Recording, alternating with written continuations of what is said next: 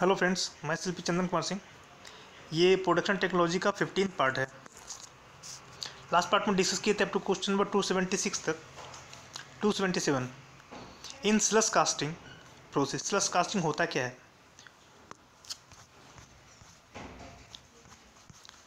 स्लस casting में होता क्या है?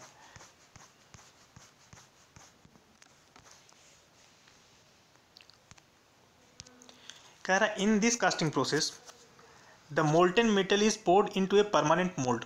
मेरे पास एक मोल्ड है। और वो मोल्ड जो है, परमानेंट मोल्ड है। मान लीजिए मेरा मोल्ड है, मोल्ड कैविटी है, परमानेंट है ये। इसमें हम क्या करते हैं, कोई भी स्ट्रक्चर इसमें बना हुआ है, कोई पैटर्न का शेप है, बना हुआ है, इसमें कोई मोल्टन मेटल हम प्लेस करते हैं। मोल्टन मेटल इसमें डालते हैं। डालने के बाद जब मोल्टन मेटल का पहला फ़िल्म यहाँ बन जाता है मतलब स्मॉल फ़िल्म, हल्का हल्का जमना शुरू कर देता है तो उस वक्त इसको हम उलट देते हैं। इन्वर्ट इन इन्वर्ट कर देते हैं। तो ऐसा क्या, ऐसा करने से क्या होता है? एक लेयर बन जाता है फ़िल्म का। तो वो लेयर और ऑर्नामेंट बनाने के लिए या ज्वेलरी बनाने के लिए बहुत ही इंपॉर्टेंट है। तो कह सकते हैं कि in this casting process the molten metal is poured into a permanent mould after the skin has frozen एक स्किन बन स्किन जब फ्रोज फ्रोजन हो जाता है, जब जम जाता है the mould is turn upside down mould को उल्टा कर देते हैं। ऐसा करने से क्या होता है कि जो भी, जो जमा हुआ नहीं है मोल्टेन मेटल वो बाहर निकल जाता है pour out and excess molten metal from the mould mould से जो एक्सेस मोल्टेन मेटल है, वो वहाँ से मोल्ड से बाहर निकल जाता है। Eject the solidified casting from the mould उसके बाद उसके बाद जो जो जमा हुआ कास्टिंग है, उसको मोल्ड से बाहर निकाल लेते हैं। This process is suitable for small production use for making ornament मतलब ज्वेलरी वगैरह बनाने में बहुत ही ये हेल्पफुल है। डेकोरेटिव आइटम अगर बनाना है टॉयज़ बनाना है from low melting point metal से लो मेल्टिंग पॉइंट मेटल से टॉयज़ वगैरह बनाना है तो उसके लिए बहुत ही यूज़फुल है slush casting such a zinc tin lead and alloy ये सारा यूज़ करते हैं हम लोग स्लस कास्टिंग में। तो स्लस कास्टिंग में होता क्या है?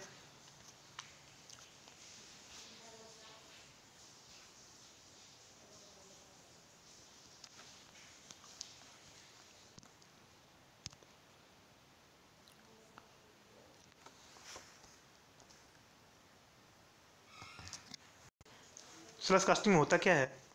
Cavity is filled with a pre calculated quantity of metal and core और प्लंजर इज़ इंसर्टेड नो ये नहीं metal is poured in to a die cavity after a pre determinant time the mould is inverted and permit a part of metal to still in molten state to flow out of the cavity ये correct option है slush casting का. तो slush casting में next question स्लस casting में क्या होता है? When a solid cell of sufficient thickness has formed, remaining liquid is poured out. Remaining liquid जो लिक्विड वहाँ बचा हुआ है, उसको पोर आउट कर लेते हैं। जिसमें एक मोल्ड कैविटी लेते हैं और उसके अंदर हम डालते हैं और एक थिन लेयर का बन जाता है। बनने के बाद हम तुरंत इसको उलट देते हैं, उल्टा कर देते हैं इन्वर्ट कर देते हैं। तो इन्वर्ट करने से क्या होता है? सारा का सारा जो मोल्टेन मेटल बचा हुआ है, वो पोर आउट हो जाता है, वो बाहर निकल जाता है।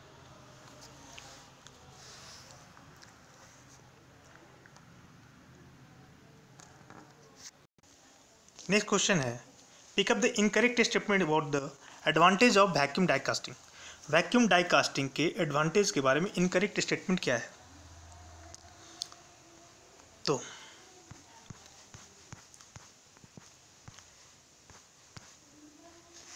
वैक्यूम डाई कास्टिंग के बारे में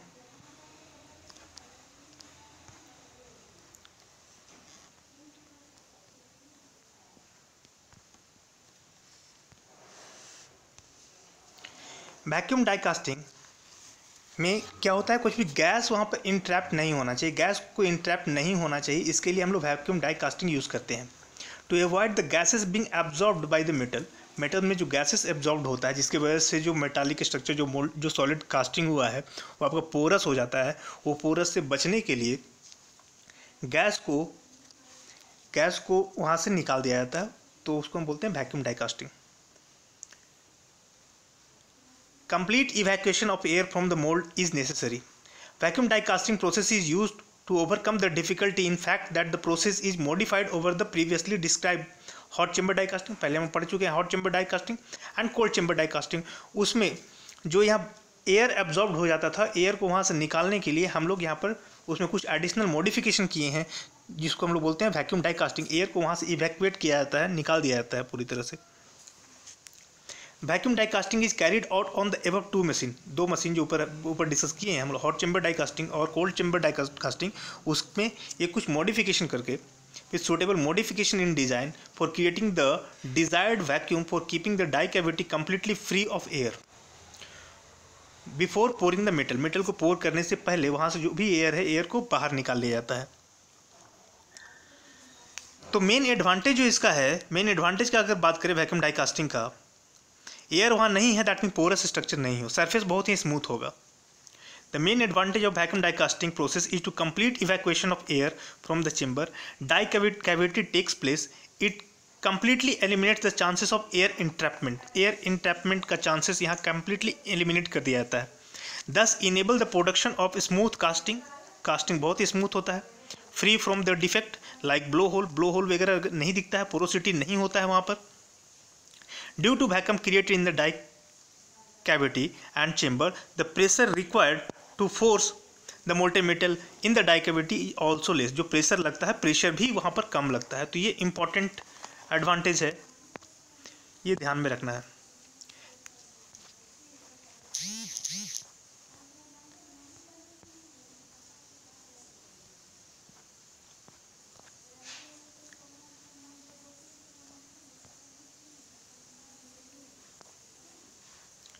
तो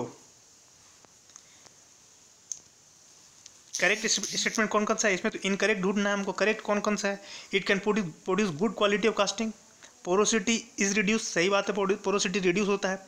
सरफेस फिनिश इंप्रूव होता है। इंजेक्शन प्रेशर भी घटता है।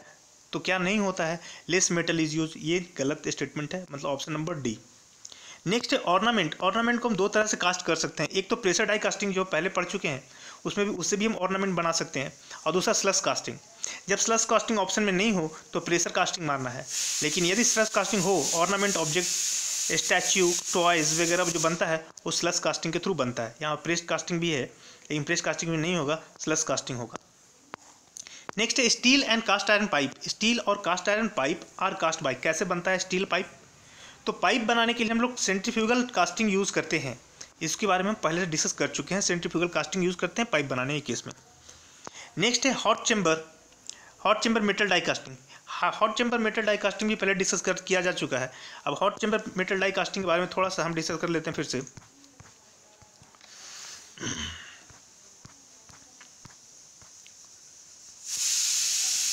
Hot chamber metal die casting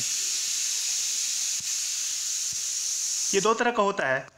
Hot chamber metal die casting और cold chamber pressure die casting hot chamber die casting uses a piston which trap certain volume of molten metal and force in to the die cavity कुछ molten metal को trap करता है और उसको force करता है कि वो अंदर जाए। The pressure ranges fifteen mega pascal to thirty five mega pascal एक बात और इसमें नोटिस करने वाला बात है यहाँ पर कि furnace is the integral part of hot chamber die casting furnace जो है integral part of hot chamber pressure die casting and furnace furnace chamber is away from the moulding box moulding box से दूर होता है। कब moulding box दूर होता है? Cold chamber pressure die casting के केस में। इसमें hot chamber pressure die casting में लो मेल्टिंग पॉइंट हम लोग यूज़ करते हैं और ये अलॉय यूज़ करते हैं। जिंक है टीन है लीड है एल्यूमिनियम है, वगैरह वगैरह लो मेल्टिंग पॉइंट अलॉय ही यूज़ करते हैं। Cold chamber pressure die casting में आपका फर्नेस अलग होता है होता है कहीं पर। In this process the molten metal is introduce into the injection chamber जिसको हम शॉर्ट चेम्बर भी बोलते हैं। The short chamber is not heated hence it is called cold chamber इसलिए इसको हम लोग कोल्ड चेम्बर बोलते हैं। द प्रेशर रेंज जो इसमें होता है, थोड़ा सा ज़्यादा उससे होता है, वो होता है twenty to seventy megapascal high melting point alloy such as magnesium aluminium copper are normally cast by this process इस प्रोसेस से कास्ट किया जाता है। अगर हम बात करें this is the hot hot pressure die casting इसमें जो फर्नेस है, इस furnace is the integral part of this machine and this is the cold chamber pressure die casting, इसके बारे में डिस्कस हम लोग पहले कर चुके हैं। इस कहीं और मोल्टेन मोल्ट होता है, मिल्ट होता है लिक्विड मतलब कि मेटल मेटल कहीं और मेल्ट होता है, कहीं फर्नेस कहीं और होता है, उस मोल्टेन मेटल को यहाँ पर डालते हैं और इस रैम के थ्रू, रैम के थ्रू इस सिलेंडर में इसको पुश करते हैं। ये है इसका डाई, ये है आपका इजेक्टर पिन। इसके बारे में भी डिस्कस किया जा चुका है हम लोग। तो हम लोग सिर्फ़ अभी रिकैप्चुलेट कर रहे हैं क्या था। तो अगर आपको याद आ रहा होगा।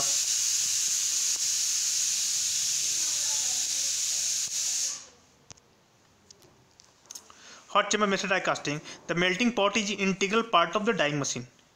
Option number A next है स्कैब्स और बकल्स क्या होता है? स्कैब्स एक कास्टिंग डिफेक्ट है, जो कि कुछ, जो कुछ जो है, वो आपका मोल्टेन मेटल जो है, वो पिघल करके बैक साइड चला जाता है। बकल्स बैक साइड चला जाता है तो उसको हम लोग स्कैप बोलते हैं। तो इसके बारे में डिस्कस कर चुके थे हम लोग। ये रहा आपका स्कैब्स कुछ जो है liquid metal flows beneath the mould surface and mixes with the moulding sand mixes with the moulding sand इसको स्कैब बोलते हैं हम लोग। ये है scab typical appearance of scabs scab का टिपिकल अपियरेंस जो है, वो लिक्विड मेटल जो है लिक्विड मोल्टेन मेटल जो है, वो बैक साइड चला जाता है। तो इसको हम लोग बोलते हैं scab liquid metal flow beneath the mould surface and mixes with the moulding sand moulding sand से जब मिक्स होकर के बैक साइड चला जाता है तो इसको हम बोलते हैं स्कैप्स स्कैप्स के बारे में और भी लिखे थे। Liquid metal flows beneath the mould surface and mix with the moulding sand इसका कॉज क्या है? क्यों होता है ये? Low moisture content in the moulding sand moulding sand में अगर मॉइस्चर कंटेंट कम है या insufficient clay in the moulding sand है, तब ऐसा देखने को हमको मिलता है। तो ये है स्कैब तो स्कैब जो था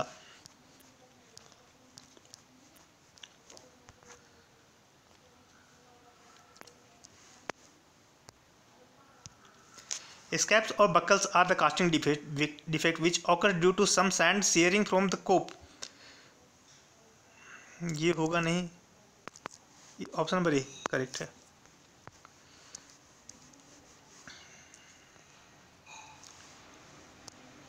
नेक्स्ट है। सेंट्रीफ्यूगल कास्टिंग भी पहले पढ़ चुके हैं। क्वेश्चन पहले आया था हम लोग का। In centrifugal casting the impurity are impurity जो कलेक्ट होता है वो इनर सरफेस पे कलेक्ट होता है। इन इनर सरफेस पे कलेक्ट होता है इम्प्योरिटी तो इनर से collected at the centre of the casting. Option number B, option number B. Centrifugal casting के बारे में हम थोड़ा सा देखें।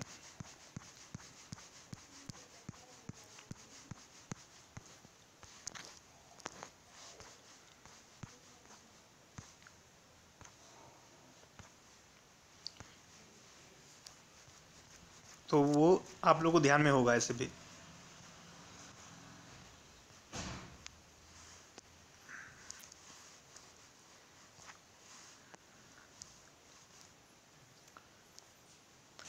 Collected centre of the casting next है the core of centrifugal casting centrifugal casting का कोर किसी का बना होता है तो इसमें कोर यूज़ नहीं होता है। सेंट्रीफ्यूगल कास्टिंग में कोई कोर यूज़ होता ही नहीं है।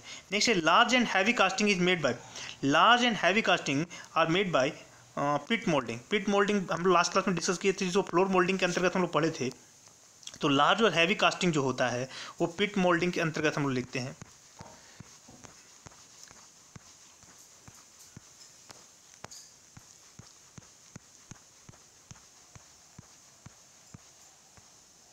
Floor moulding when casting is larger in size तो उसके लिए फ्लोर मोल्डिंग करते हैं। अब very large and heavy casting like machine body और मोल्डिंग ए पिट उसके लिए पिट मोल्डिंग हम लोग यूज़ करते हैं। The pit is formed and on the foundry floor it foundry के फ्लोर पे ही पिट बनाते हैं हम लोग। Pit act as a drag pit pit जो होता है वो ड्रैग जैसा बिहेव करता है। Drag part of the mould ये ये जो है, ये आपका फ्लोर है फ्लोर के नीचे जो ये ड्रैग पोर्शन है, और ऊपर का जो है कोप है सेपरेट कोप हम लोग ऊपर से यूज़ करते हैं।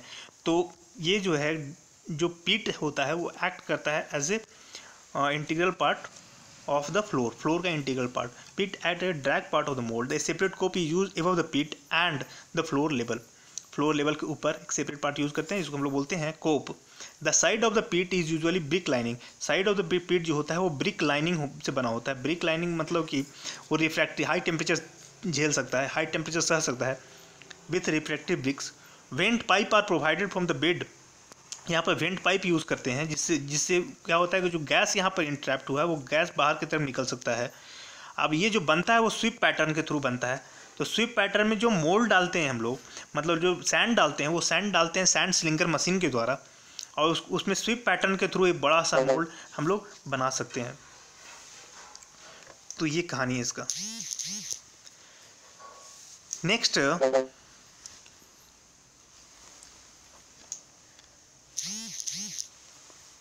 अगर हम बात करें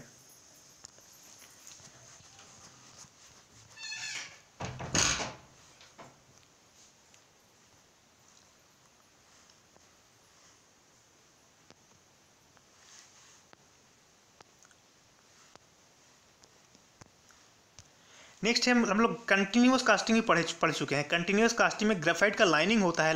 लाइनिंग क्यों क्यों होता है? वो सेल्फ लुब्रिकेटिंग क्वालिटी के वजह से। ग्रेफाइट के पास सेल्फ लुब्रिकेटिंग क्वालिटी होता है। इसके वजह से वो, हम लोग ग्रेफाइट यूज़ करते हैं। कॉपर के कॉपर का उसमें जो मोल्ड रहता है कॉपर के मोल्ड के ऊपर ग्रेफाइट का लाइनिंग चढ़ाते हैं ताकि वो लुब्रिकेट नहीं सेल्फ लुब्रिकेटिंग लुब्रिकेटिंग प्रॉपर्टी की वजह से उसके ऊपर हम चढ़ाते हैं। ये भी हम पहले डिस्कस कर चुके हैं। नेक्स्ट है फेरस एलॉय अभी अभी देखे थे hot chamber machine die casting और cold chamber pressure die casting ये दोनों देख चुके हैं अभी अभी। इन दोनों में हॉट चैम्बर में हम लोग लो मेल्टिंग पॉइंट वाले को यूज़ करते हैं कोल्ड चैम्बर में हम लोग हाई मेल्टिंग पॉइंट वाले को यूज़ करते हैं। इस, इसमें कहीं भी हम लोग फेरस मटेरियल यूज़ नहीं करते हैं। और ब्लो मशीन वैसा मशीन होता है जिसमें हवा की वजह से, हवा की वजह से वो सेप लेता है, मोल्ड का सेप लेता है, अगर ब्लो करते हैं एयर को ब्लो करते हैं तो जनरली प्लास्टिक के केस में ऐसा होता है कि प्लास्टिक मोल्टन प्लास्टिक है, उसके ऊपर अगर प्रेशराइज अगर एयर एयर हम डालें प्रेशराइज एयर डालें तो वो मोल्ड कैविटी में का सेप ले लेता है, जिस तरह का मोल्ड कैविटी सेप होता है, उसी का सेप ले लेता है। तो ये जनरली यूज़ करते हैं प्लास्टिक के केस में। अब डाई कास्टिंग में डाई कास्टिंग में क्या होता है कि डाई कास्टिंग में परमानेंट मोल्ड कास्टिंग होता है। परमानेंट डाई होता है वहाँ पर। परमानेंट डाई जो होता है, वो खुद फेरस मटेरियल का होता है। और उसमें भी फेरस मटेरियल का डालें हम, बनाएँगे। तो वो एक दूसरे से चिपक जाएगा। इसके लिए हम लोग फेरस मटेरियल को डाई कास्टिंग के थ्रू भी नहीं करते। मतलब यहाँ पर जो एग्ज़ाम्पल दिया हुआ है, उसमें किसी किसी को भी नन ऑफ़ द एबव हम लोग यूज़ करते हैं फेरस अलॉय के लिए। नेक्स्ट है tolerance produce in investment casting investment casting में जो टॉलरेंस प्रोड्यूस होता है, वो कितना होता है? Point zero zero five point zero five millimetre point zero five millimetre produce होता है। तो इन्वेस्टमेंट कास्टिंग में जो टॉलरेंस होता है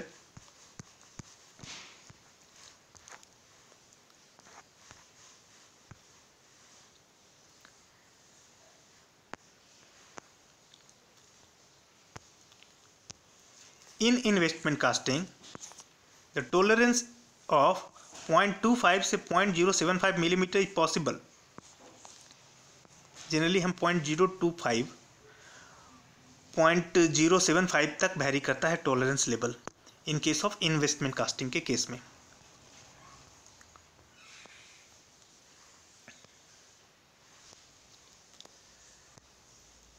नेक्स्ट है cold chamber pressure die casting में क्या होता है? The melting pot is separate from the die casting machine die casting machine से सेपरेट होता है आपका मेल्टिंग पॉट नेक्स्ट है स्विप पैटर्न स्विप पैटर्न में हम लोग डिस्कस कर चुके हैं। स्विप पैटर्न के थ्रू बनता क्या है? तो स्विप पैटर्न के थ्रू यूनिफॉर्म सिमेट्रिकल शेप बनता है। यूनिफॉर्म सिमेट्रिकल शेप बनता है स्विप पैटर्न के थ्रू स्विप पैटर्न के बारे में थोड़ा सा चर्चा कर लेते हैं हम लोग।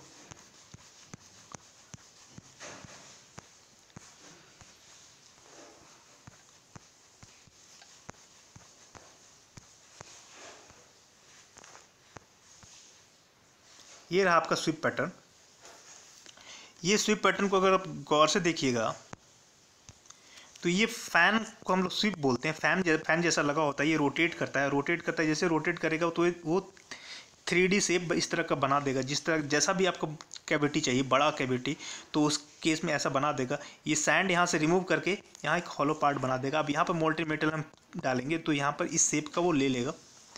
तो इसको हम बोलते हैं स्विप पैटर्न अब स्वीप पैटर्न एक साथ हमको थ्री डायमेंशनल पैटर्न का यूज़ नहीं करते हैं इस केस में। थ्री डायमेंशनल पैटर्न को अवॉइड करते हैं। इसमें स्वीप स्वीप होता है जिसको हम रोटेट करके एक साथ पूरा मोल्ड कैविटी तैयार कर लेते हैं। तो स्वीप पैटर्न जो होता है can be use both for green dry green and dry sand moulding sweep pattern is just a form made एक फॉर्म बनाता है, जिस फॉर्म का आपको चाहिए, जिस शेप का आपको चाहिए, उस शेप का बना देता है। ऑन ए वुडन बोर्ड ये वुडन बोर्ड का बना होता है। लकड़ी का बोर्ड होता है which sweep the shape of casting cast जिस शेप का कास्टिंग आपको चाहिए, उस शेप को स्विप करता है मतलब वहाँ सैंड को रिमूव कर देता है। All around the circumference all around the circumference पूरे सर्कमफ्रेंस से वो सैंड को रिमूव कर देता है। Sweep pattern rotate about the vertical post vertical post के अबाउट ये रोटेट करता है। Once the mould is ready एक बार मोल्ड तैयार हो जाता है तो sweep pattern and the post can be remove sweep pattern और पोस्ट वहाँ से हटा लेते हैं और मोल्टेड मेटल को वहाँ पोर करते हैं। Sweep pattern is avoid the necessary of making the full and large circular and costly three dimensional pattern three dimensional pattern use करने की ज़रूरत नहीं है। स्वीप पैटर्न बहुत ही ईजिली बन जाता है बहुत ही मिनिमम कॉस्ट में बन जाता है। Making a sweep pattern saves a lot of time and labour as compare to making a full pattern full pattern बनाने के कंपेरिजन में टाइम भी बचाता है और लेबर का मेहनत भी बचाता है। Sweep pattern is preferred for producing large casting of circular section और सिमेट्रिकल शेप सिमेट्रिकल शेप बनाने के केस में और सर्कुलर सेक्शन बनाने के केस में हम किसको यूज़ करते हैं? तो यही है स्वीप पैटर्न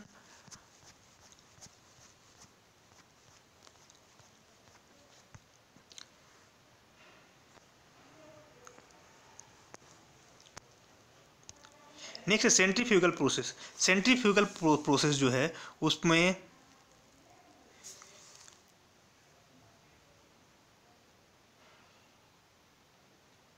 कौन सा ऑप्शन सही है? सेंट्रीफ्यूगल पैटर्न जो है प्रोसेस जो है वो आपका हॉरिजेंटल भी हो सकता है वर्टिकल भी हो सकता है। ये दोनों हो सकता है। कहीं लिमिटेड नहीं है कि वो हॉरिजेंटली होगा लिमिटेड भी, भी नहीं है कि वर्टिकली ही होगा। Use for producing casting of irregular shape irregular shape इसमें नहीं बनता है। Use for producing one casting at a time ये भी नहीं होता है। तो इसमें कौन सा बेहतर ऑप्शन है?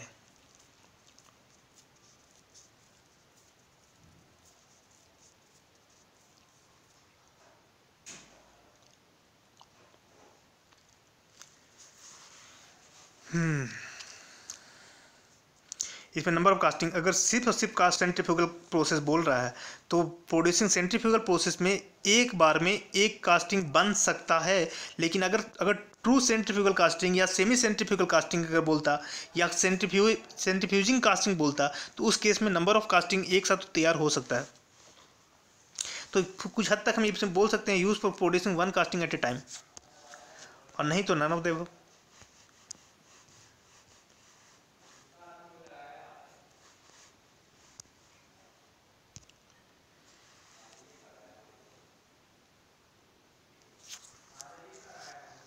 नेक्स्ट है ड्रॉसिंग ड्रॉसिंग क्या होता है? Drossing in foundry practice refer to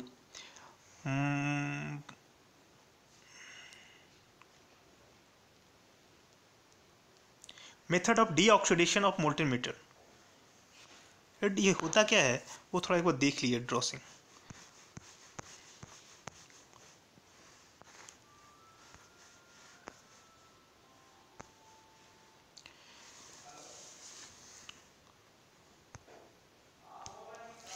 melting occurs most, rap most rapidly in heel or molten aluminum is present when the charge is added. Melting down with minimum dross formation occurs when the charge is protected from the combustion product and melting rapid.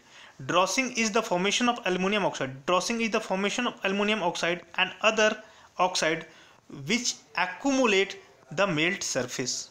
Which accumulate the melt surface मतलब drossing वो phenomena है जिससे aluminium oxide या other oxide बनता है।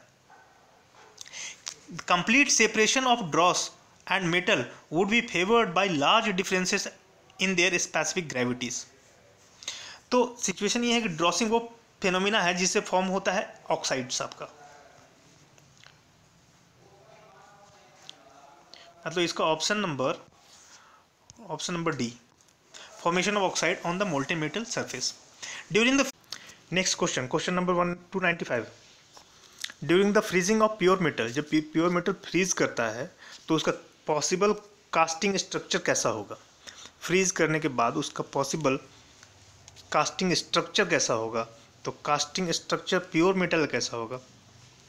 उसके बाद alloy अगर सॉलिडिफाई होता है ऊपर शॉर्ट रेंज ऑफ़ टेम्परेचर तो उसका कास्टिंग स्ट्रक्चर कैसा होता है? और alloy solidify over the wide range of temperature तो उसका कास्टिंग कैसा होता है? ये तीन बात ध्यान में रखना है। This type of cast structure develop in the during the solidification of metal and alloy depending upon the composition of the particular alloy as well as the cooling rate as with as the rate rate of heat transfer and the flow of liquid metal during the casting process as describe by the another section चलिए pure metal के बारे में हम discuss करते हैं थोड़ा सा। Pure metal का सॉलिडिफाई होता है। Pure metal solidify in a square mold. At the wall of the mold, the metal cool first, very rapidly, because the wall is at ambient temperature. As a result, the cooling first at the mold wall and the casting develop the solidify skin. Casting जो होता है solidify skin develop होता है जैसे मान लीजिए कि आपका मोल्ड है ये मोल्ड है यहाँ से यहाँ बाहर की तरफ़ हीट का ट्रांसफ़र हो रहा है। अंदर से बाहर की तरफ़ हीट का ट्रांसफ़र हो रहा है क्योंकि अंदर का टेम्परेचर ज़्यादा है और बाहर का टेम्परेचर कम है। तो जो यहाँ पर जो ग्रेन डेवलप होगा, जो ग्रेन सॉलिडिफाई होगा, सबसे पहले वो वॉल के पास सॉलिडिफाई होगा और जो ग्रेन डेवलप होगा, वो अंदर की तरफ़ डेवलप होगा। ग्रेन जो डेवलप होगा, वो अंदर की तरफ़ डेवलप होगा। Opposite to direction of heat transfer heat transfer के अपोजिट डायरेक्शन में ग्रेन डेवलप होगा। और ये ग्रेन जो डेवलप होगा, वो कॉलम कॉलम जैसा होगा। कॉलम जैसा कॉलम होता है ना छोटा छोटा और लंबा लंबा, इस तरह का कॉलम कॉलम के जैसा कॉलम ग्रेन डेवलप होगा। तो कह रहा है the casting develop solidify skin और सेल और fine equiaxed grain the grain grow in the direction opposite direction of heat transfer grain heat transfer के अपोजिट डायरेक्शन में ग्रो होता है and grains that have the favourable orientation called column grain column grain जिसको column grain भी कहते हैं हम लोग ग्रो प्रिफेंशियली वो डेवलप होता है। कैसा डेवलप होता है तो आप यहाँ गौर देख सकते हैं, ये है आपका कॉलम ग्रेन कॉलम जैसा दिख रहा है। अगर हीट ट्रांसफ़र इधर हो रहा है तो कॉलम ग्रेन ऐसा ऐसा है। हीट ट्रांसफ़र इधर हो रहा है तो कॉलम ग्रेन ऐसा ऐसा है। हीट ट्रांसफ़र इस डायरेक्शन में हो रहा है, चूँकि स्क्वायर मोल्ड है हीट ट्रांसफ़र इस डायरेक्शन में तो कॉलम ग्रेन आपको ऐसा देखने को मिलेगा। तो इसको बोलते हैं कॉलम ग्रेन तो प्योर मेटल में हमको कॉलम ग्रेन देखने को मिलता है। नेक्स्ट है, अगर बात करें हम अलॉय का। अलॉय अलॉय में अलॉय में जो डेवलप होता है सॉलिडिफाई के बाद pure metal have limited mechanical properties however their properties can be enhance by modified by alloying alloying करने का उसका प्रॉपर्टी इनहेंस होता है। The vast majority of the metal use in engineering application are some form of alloy generally engineering application में हम लोग alloy ही use करते हैं। बहुत ज़्यादा मात्रा में अलॉय कर यूज़ करते हैं क्योंकि अलॉय का एक डिफरेंट प्रॉपर्टी होता है। Consisting of two or more chemical element at least one of which is a metal because many consumer and industrial product contains cast iron cast alloy a study of uh, their solidification is essential अब solidification अगर वो होता है solidification of liquid alloy begins when the temperature drop below the liquidus मतलब melting temperature से कम होता है तो वो सॉलिडिफिकेशन बिगिन होता है and complete when the reach is solidus जब वो फ्रीजिंग पॉइंट के नज़दीक पहुँच जाता है तो वहाँ पर समझा जाता है कि वो सॉलिडिफिकेशन कंप्लीट हो गया। With in this temperature range with in this temperature range alloy is in mercy और पारसी मर्सी और pastry state and has a columnar ड्रेनाइड ड्रेनाइड का स्ट्रक्चर होता है। मतलब अगर ओवर ए शॉर्ट रेंज में over short range of temperature मतलब स्टार्टिंग में स्टार्टिंग में टीएल से लेकर टीएस तक छोटा सा स्मॉल टेम्परेचर रेंज के बीच वो कॉलम जैसा कॉलम जैसा डेवलप करता है। और अगर लार्ज टेम्परेचर रेंज में अगर उसको करना हो तो डेंड्राइट जैसा डेवलप करता है। तो ये थोड़ा ध्यान रखना होगा आपको। अब डेंड्राइट जो होता है वो ग्रीक वर्ड से बना हुआ है डेंड्रॉन से बना हुआ है। डेंड्रॉन का मतलब होता है एकिन एकिन टू या फिर ड्राई मीनिंग इसका है ट्री ट्री के जैसा दिखने को मिलेगा डेंड्राइट डेंड्राइट जो है ट्री जैसा देखने को आपको मिलेगा। तो कहने का मतलब over a long range of temperature अगर उसको हम सॉलिडिफाई करते हैं over long range of temperature तो वो डेंड्राइट जैसा बनेगा। और अगर over short range of temperature उसको सॉलिडिफाई करते हैं अलॉय को तो वो कॉलम जैसा बनेगा। तो ये आपको ध्यान रखना होगा। Dendrite have three dimensional arm and branches dendrite का जो स्ट्रक्चर होता है देखने में ऐसा लगता है कि थ्री डायमेंशनल आर्म या ब्रांचेज है। And the arm is eventually interlock और आर्म जो ऐसा जो ऐसा होता है, जैसा, ऐसा है जैसे लगता है कि वो एक दूसरे से इंटरलॉक है, सारा आर्म एक दूसरे से जुड़ा हुआ है। तो सिचुएशन यहाँ पर ये है कि आपको अलॉय के लिए क्या होता है ये आपको ध्यान में रखना होगा। तो यहाँ पर प्योर मेटल का अगर बात किया जाए प्योर मेटल का अगर बात किया जाए तो प्योर मेटल में हमको कॉलिमर स्ट्रक्चर देखने को मिलता है। लेकिन वही अगर अलॉय हो over short range of temperature उसको हम कूल कर रहे हैं और वो सॉलिडिफाई हो रहा है तो उस वक्त उसका उसका वो कॉलम जैसा ही दिखेगा। कॉलम जैसा ही दिखेगा। लेकिन over a long range of temperature अगर उसको हम सॉलिडिफाई कर रहे हैं मतलब कि एकदम टी एल से लेकर के टी एस तक लॉन्ग रेंज ऑफ़ टेम्परेचर तक उसको सॉलिडिफाई कर रहे हैं तो जो हमको स्ट्रक्चर मिलेगा वो डेंड्राइट जैसा स्ट्रक्चर देखने को हमको मिलेगा। इसमें कोई कन्फ्यूज़न नहीं होना चाहिए। नेक्स्ट क्वेश्चन है 298 flogging flogging in foundry practice refers to flogging होता क्या है? Flogging in foundry practice refer to flogging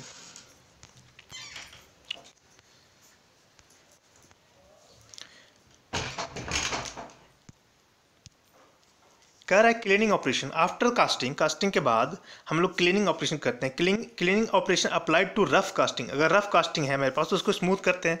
machining करते हैं ग्राइंडिंग करते हैं उसके ऊपर. उसके अलावा include the breaking of gate जो गेट है आपका, जो स्प्रू है रनर है, वो सब सैंड का बना हुआ है। जब कास्टिंग कंप्लीट हो जाता है तो सबको हटाना पड़ता है, सबको हटाना पड़ता है। तो ब्रेकिंग ऑफ़ गेट गेट को गेट को हटाना फिर स्प्रू को हटाना रनर को हटाना मतलब पूरा जो सैंड का जो स्ट्रक्चर बना हुआ है, वो सारे सैंड के स्ट्रक्चर को हटाना, इसी को हम लोग बोलते हैं फ्लॉगिंग इसको हम ब्लास्टिंग या चिपिंग ग्राइंडिंग वगैरह वगैरह करते हैं उसके बाद। जब कास्टिंग कंप्लीट हो जाता है, तब। other of the conventional means of cleaning casting described in chapter number 24. Castings cleaning, surface cleaning operation are through are thought to cease as far as the foundry is concerned. When blasting and tumbling or other useful method have been used. However, in large number of cleaning and surface treatment process, metallic, ceramic and organic coating can be applied which should substantially extend the range of usefulness of grey iron casting. कहने का मतलब है कि casting complete होने के बाद casting complete हो जाने के बाद उसके, उसका जो भी स्ट्रक्चर है वो सबको साफ़ करते हैं और वो उसको रिमूव करते हैं। जो भी मेन स्ट्रक्चर है आपका, जैसे स्प्रू हो गया रनर हो गया गेट हो गया, वो सबको तोड़ के हटा देते हैं। तो इसी को हम लोग बोलते हैं फ्लॉकिंग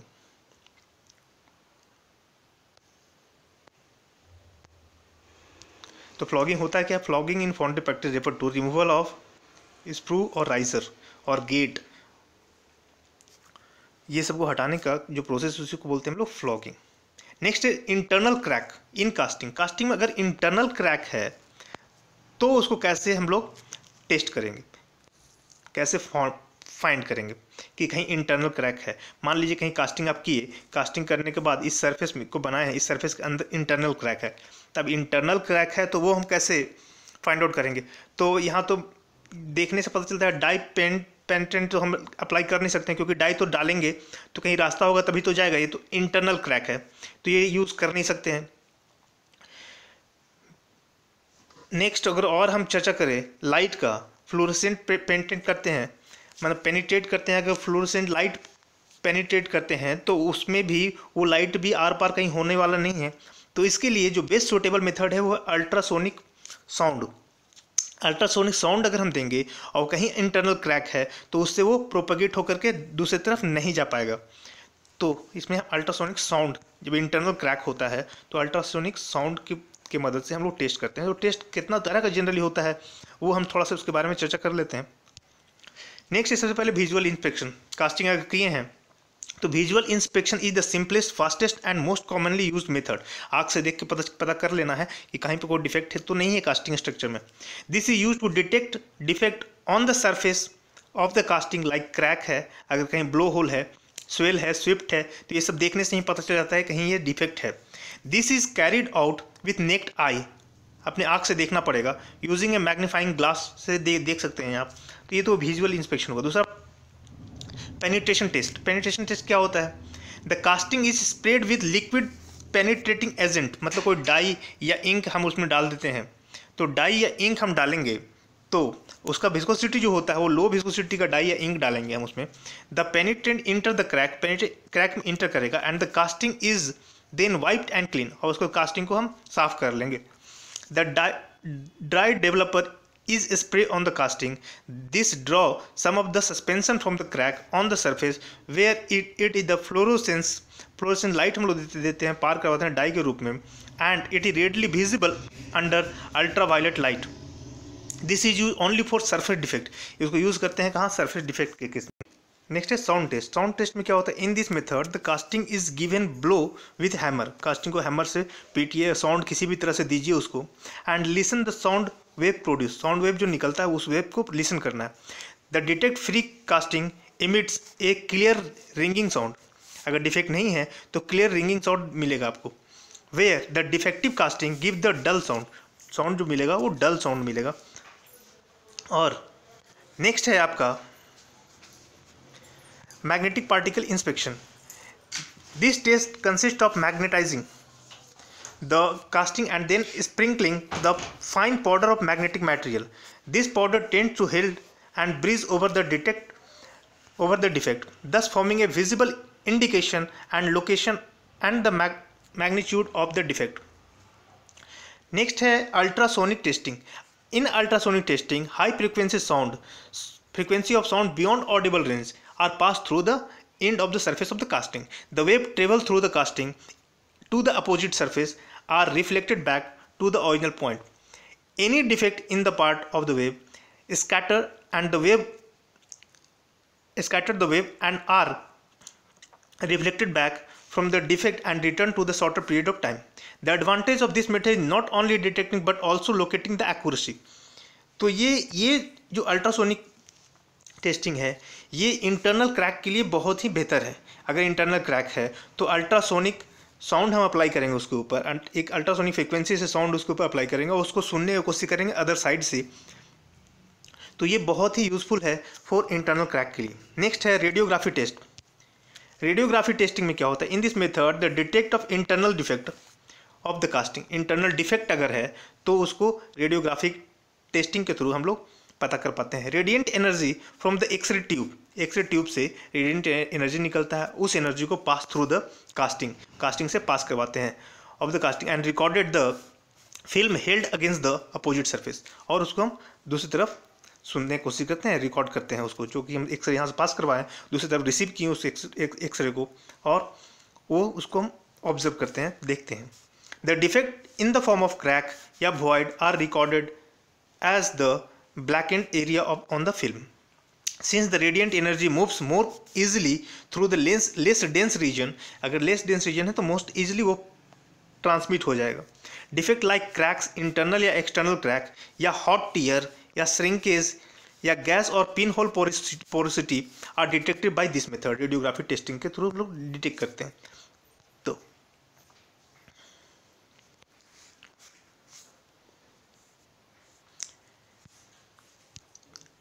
यहाँ पर इंटरनल क्रैक अगर है तो कैसे पता चलेगा? अल्ट्रासोनिक कास्टिंग से। अगर वो सरफेस का ऊपर क्रैक है सरफेस के ऊपर क्रैक है तो सरफेस के ऊपर जो क्रैक है, उसको हम लोग डाई पेनिट्रेटिंग टेस्ट से पता कर पाएँगे। सरफेस सरफेस के ऊपर क्रैक है तो उसमें डाई डाल के देखेंगे। डाई अगर आर पार हो जा रहा है तो तो हमको उसे पता चलता है कि वो, वहाँ पर कहीं ना कहीं क्रैक है। Next the internal hot tear hot tear hot tear को डिफेक्ट को ईजिली इंस्पेक्ट कर सकते हैं with help of radiography radiography के थ्रू रेडियोग्राफी के थ्रू और hot hot tear are casting defect hot tear होता क्या है? ये हम पहले भी देख चुके हैं। हॉट टीयर के बारे में थोड़ा सा देख लीजिए। Microscopic separation on the surface ये जो ये जो था, इसको बोलते हैं हम hot tear hot tearing is the microscopic separation due to differential contraction of the casting during solidification जब सॉलिफिकेशन होता है तो डिफरेंशियल कास्टिंग की वजह से ये माइक्रोस्कोपिक सेपरेशन देखने को हमको मिलता है। इसको हम बोलते हैं hot tear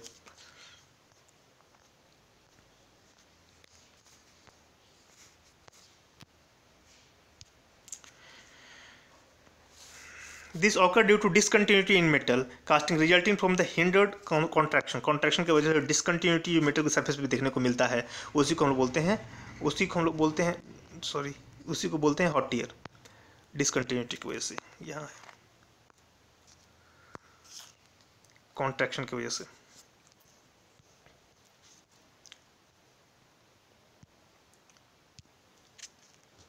फेटलिंग क्या होता है? फेटलिंग क्या होता है? फेटलिंग नहीं होता है एक्चुअल में वो।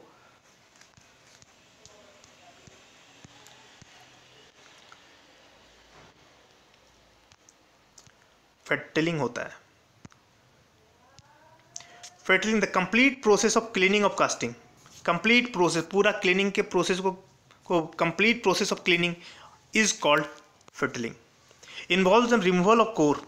जिसमें कोर को भी हटा देना है वहाँ से गेट को भी हटा देना है राइजर को हटा देना है cleaning of casting surface and chipping इसी को फ्लॉगिंग भी बोलता है आदमी लोग। अगर गेट को हटाना है या राइजर को हटाना है तो उसको फ्लॉगिंग भी बोलता है, लेकिन कंप्लीट कंप्लीट क्लीनिंग को हम लोग फ्लेटलिंग बोलते हैं। फिटलिंग बोलते हैं। अब any other projection of the surface surface किसी भी तरह का प्रोजेक्शन है तो उसको हटा देना है। मतलब सारा मिट्टी का चीज़ को हटा कर किनारे कर दीजिए तो जो बन जो उस प्रोसेस को हम लोग बोलते हैं fettling the dry sand core can be remove simply by knocking off अगर ड्राई सैंड सैंड जो सूखा हुआ है, मिट्टी जो सूख गया है, उसका मोल्डिंग मोल्डिंग सैंड जो उसका सूख गया है, उसको तोड़ तोड़ के नॉक करके हटा देना है। विथ एन आयरन बार लोहा के रॉड से उसको तोड़ करके हटा देना है। By the means of core vibrator या फिर कोर वाइब्रेटर यूज़ करके उस मिट्टी को पूरे से तोड़ के हटा देना है। या by the means of hydroblasting पानी के पानी के पौछार से उसको हटा हटा देना है तोड़ के। तो इसको हम लोग बोलते हैं फेटलिंग ये ध्यान रखना है। The method is depend upon the size complexity and core material use core material कौन सा यूज़ हुआ है उस पर डिपेंड करता है ये। तो फेटलिंग क्या होता है?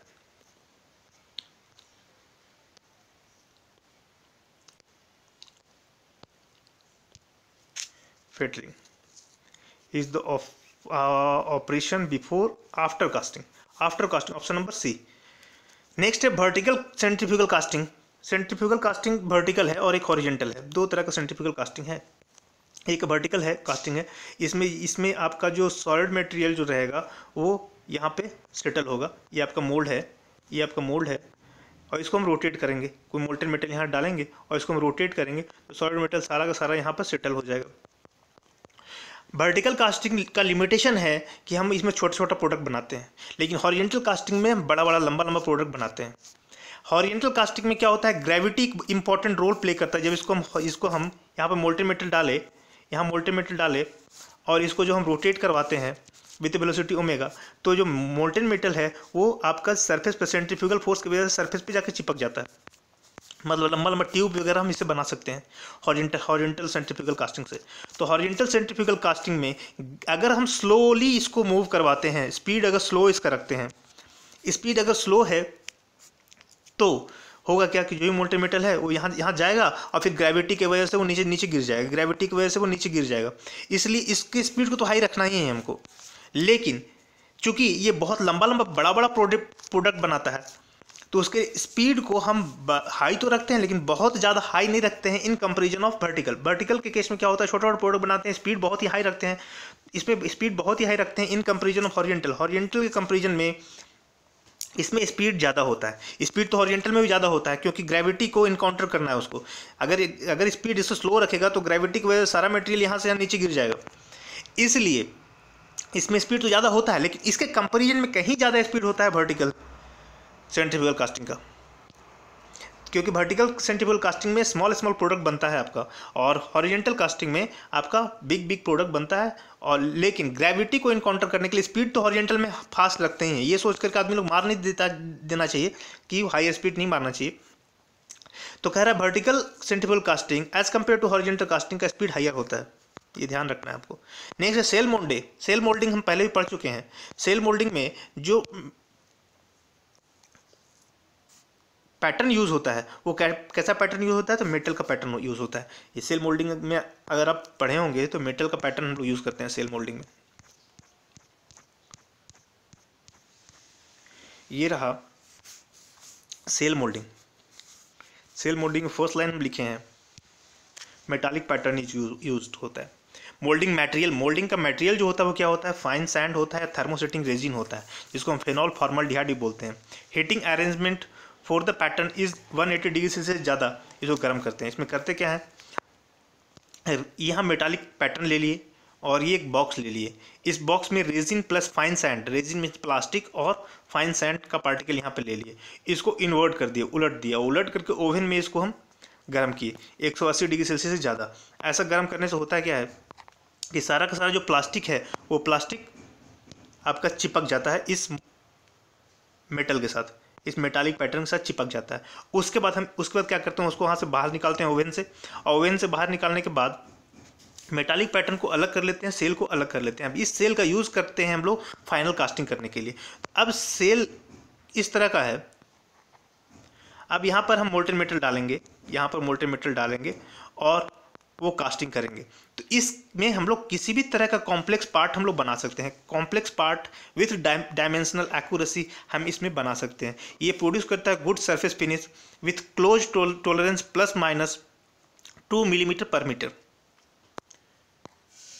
now the cell use for modifying moulding purpose moulding purpose के लिए इस सेल का यूज़ करते हैं। तो यहाँ पर पूछा ये गया था? सेल मोल्डिंग में कौन सा पैटर्न यूज़ करते हैं तो पैटर्न तो हम मेटालिक ही यूज़ करते हैं। नेक्स्ट कोल्ड सट सट होता है। कोल्ड सट होता क्या है? तो कोल्ड सट डिफेक्ट भी हम पहले पढ़ पढ़ चुके हैं।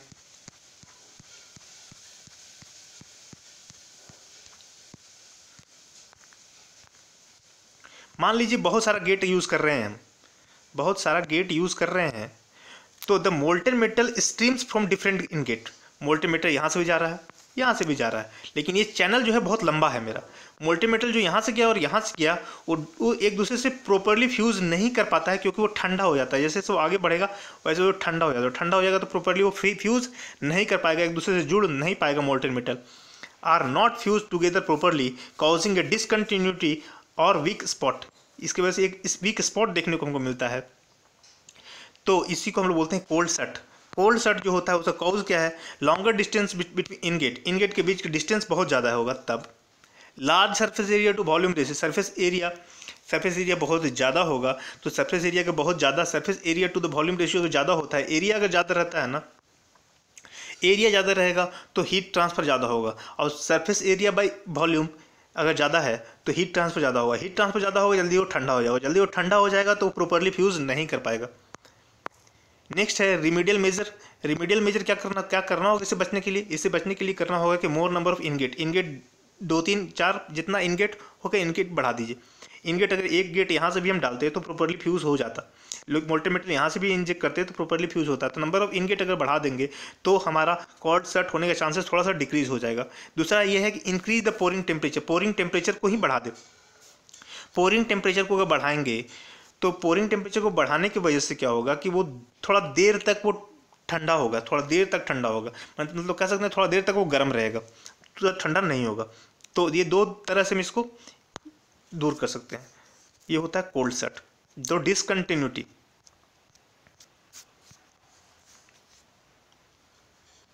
cold set in the casting defect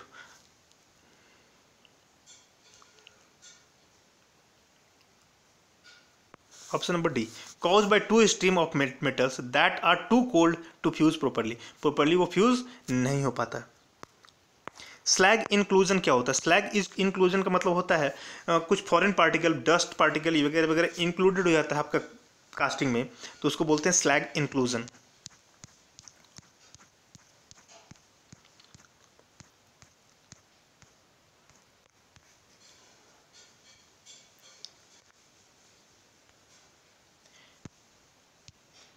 undesirable foreign material present in the metal वो ऑक्साइड के फॉर्म में हो स्लैग के फॉर्म में हो, या डर्ट के फॉर्म में हो, वो अनडिजायरेबल फॉरेन मटेरियल अगर प्रेजेंट है मेटल में तो उसको बोलते हैं इंक्लूजन इसका कॉजेज क्या होता है? किसकी वजह से होता है ये?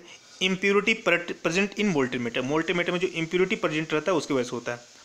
नेक्स्ट है sand cracked and broken from gating system and mould cavity sand अगर क्रैक हो जाता है सैंड अगर टूट जाता है और या फिर टूट करके ब्रेक हो जाता है और वो मोल्ट मोल्टेन मेटल के साथ बहने लगता है तो अंदर जाके कहीं ना कहीं वो स्लैग इंक्लूडेड हो जाएगा आपका उस कास्टिंग मटेरियल में। रिमीडियल मेजर कैसे इसको ठीक करेंगे तो इसको ठीक करने का एक तरीका है skimming the molten metal before pouring pouring करने से पहले उसको हम साफ़ कर लेंगे।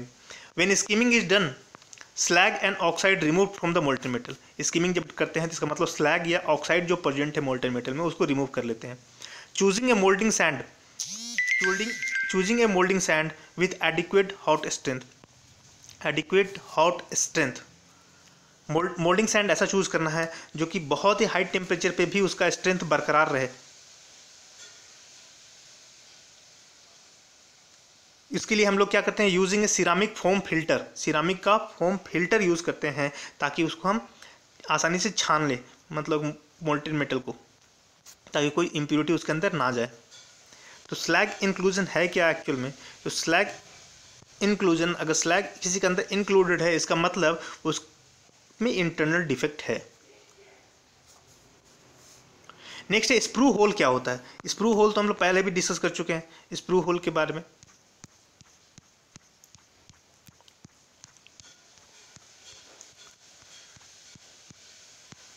ये आपका है मोल्डिंग फ्लास्क है, जिसको हम लोग बोलते हैं मोल्डिंग बॉक्स इसमें ये है आपका पोरिंग बेसिन जहाँ से मोल्टेन मेटल आप डालते हैं। ये है आपका स्प्रू एक स्प्रू है स्प्रू से मोल्टेन मेटल नीचे आएगा और फिर वो चौक से होते हुए ब्लाइंड राइजर यहाँ पर है। उसके बाद आगे बढ़ता है गेट के थ्रू होते हुए ये मोल्ड कैविटी के अंदर चला जाएगा, बीच में हम कोर रखे हैं यहाँ पर, एक वेंट होल रखे हैं जहाँ से एयर वगैरह बाहर निकलेगा, एक ओपन राइजर है जहाँ से मोल्टे मेटल को फ़ीड करेंगे। जब ये श्रिंक होगा तब, अपर हिस्सा को उसको कोप बोलते हैं, लोअर हिस्सा को ड्रैग बोलते हैं, इंटरमीडिएट हिस्सा को चैप, इंटरमीडिएट हिस्सा को हम लोग बोलते हैं, पार्टिंग लाइन जिसको बोलते हैं हम लोग। और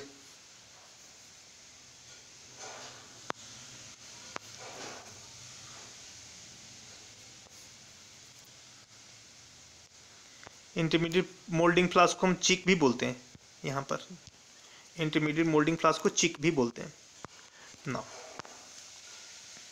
तो ये तो था तो यहाँ पूछा कि आपसे स्प्रू क्या होता है?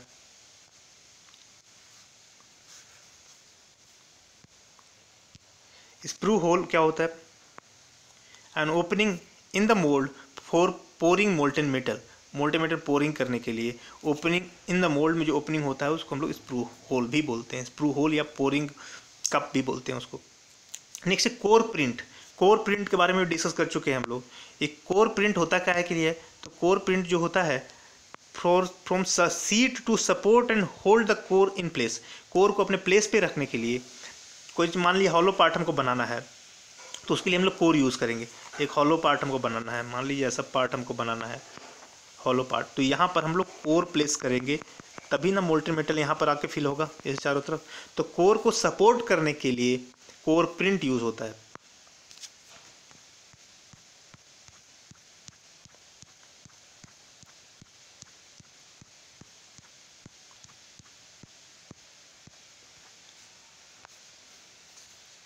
कोर प्रिंट कह रहा है core print are the extra projection provided on the pattern pattern में जो एक्स्ट्रा प्रोजेक्शन है, ये एक पैटर्न है आपका तो पैटर्न में एक्स्ट्रा प्रोजेक्शन जो है, इसको हम लोग बोलते हैं core print core print form the core seat in the mould when pattern is embedded in the sand for making mould core seat जो होता है support the core against the buoyancy of molten metal molten metal के buoyancy के against इसको support करता है। मोल्टीमेटल आएगा जिस बायोन्सी से कहीं ऊपर ढकेल दे इसके लिए, इसको सपोर्ट करने के लिए हम लोग एक्स्ट्रा प्रोजेक्शन यहाँ पर रखते हैं, जिसको हम लोग कोर प्रिंट बोलते हैं। Core seat are provided all support all type of core such a vertical core horizontal core वगैरह वगैरह यूज़ करते हैं इस केस में। कोर प्रिंट दो they are a part of pattern and do not appear on cast part cast part में appear नहीं होता है। इसको हटा लेते हैं फाइनली हम। तो यह core print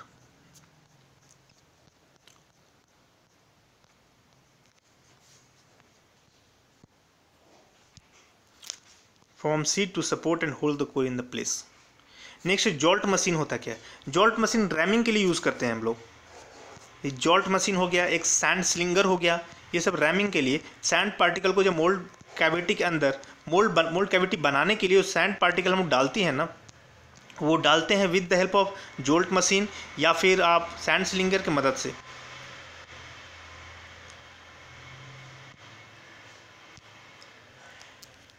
Jolt machine it is also known as jar machine या बम्पर इसको जार मशीन भी बोलते हैं या बम्पर भी बोलते हैं।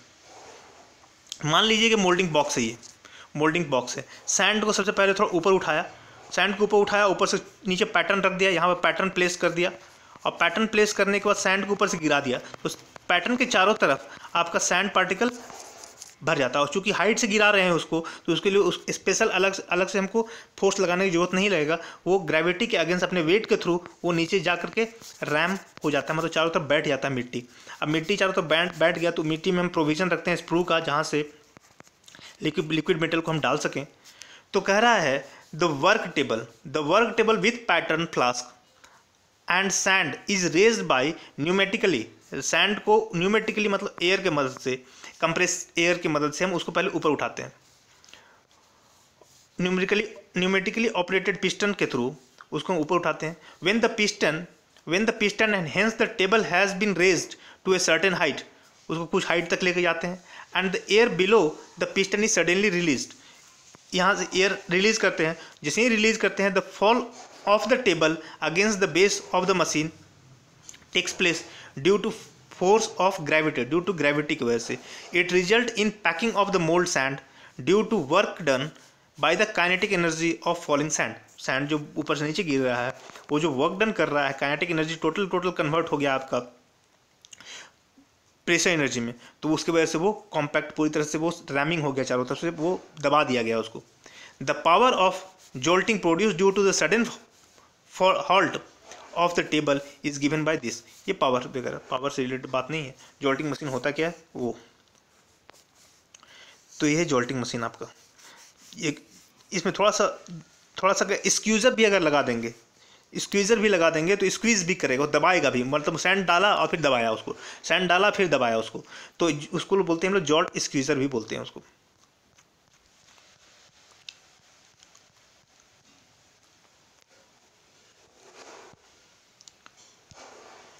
Jolt machine produce uniform ramming about the pattern uniform ramming pattern पहले पैटर्न रख दिए।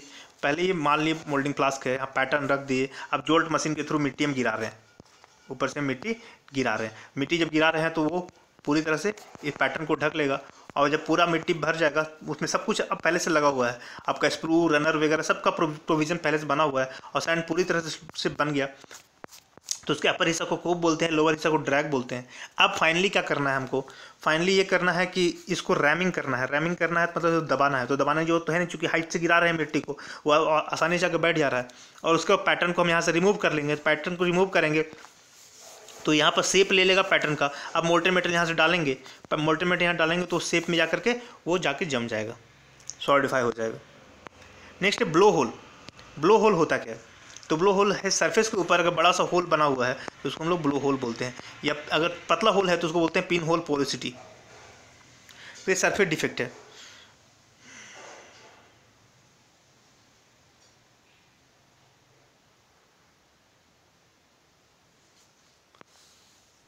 Which take on the form of internal void अगर अंदर भी वॉइड है या on the surface surface depression surface पे कोई डिप्रेशन है, देखने को मिलता है due to excessive gaseous material अगर मोटे मटेरियल में बहुत सारा गैस पार्टिकल तो गैस पार्टिकल बाहर निकलेगा तो सर्फेस पर हल्का छोटा छोटा वॉइड छोड़ देगा.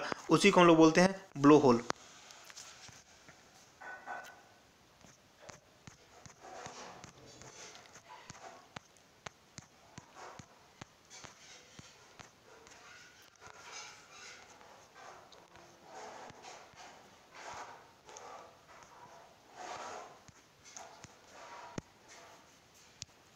ब्लो होल सा round round hole blow hole जो होता है राउंड होल होता है. And if the blow hole visible on the surface of casting called open blow surface पर अगर दिखता है तो उसको ओपन ब्लो बोलते हैं. And occurring below the surface of casting not visible from outside तो उसको हम लोग ब्लो होल बोलते हैं. ये ध्यान रखना है.